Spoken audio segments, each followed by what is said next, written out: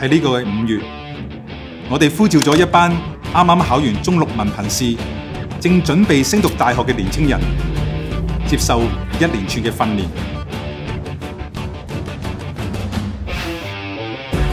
為咗追求屬靈上更大嘅成長，佢哋放低咗自己玩樂嘅時間，亦都放弃咗做暑期工揾钱嘅机会，全程投入咁去学习，全力以赴咁去接受种种挑战。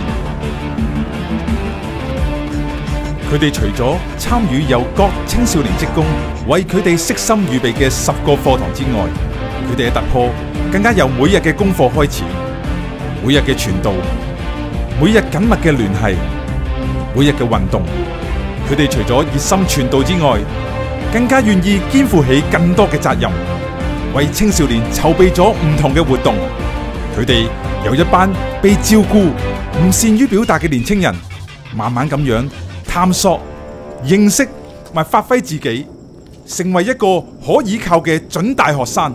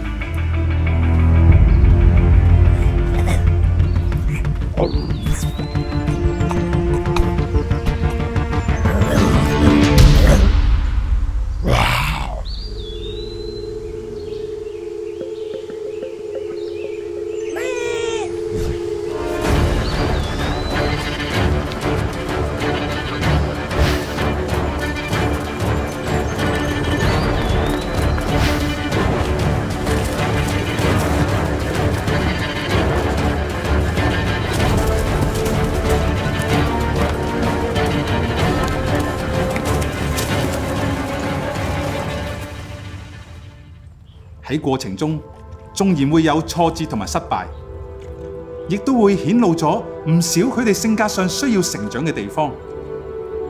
但係佢哋選擇堅持，學習迎難而上。佢哋亦都漸漸明白到，個人嘅得失唔係最重要。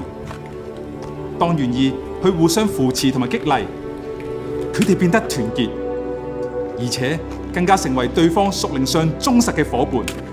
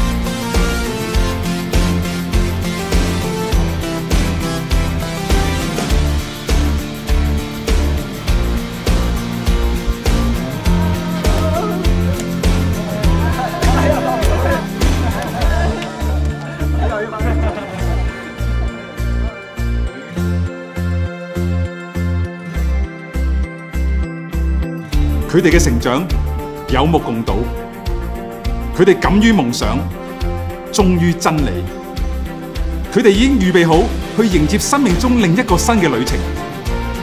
佢哋係邊個？佢哋就係教會嘅少年飞虎。喺短短嘅一個月入邊，佢哋已經同咗超過四千個人去傳福音。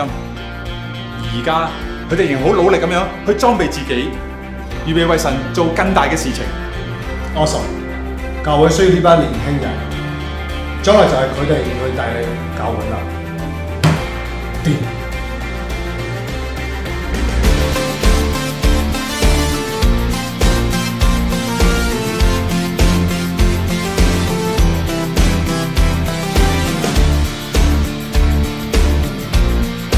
呢個計劃入邊，我對於傳道同埋建立關係嘅信念都明白明定。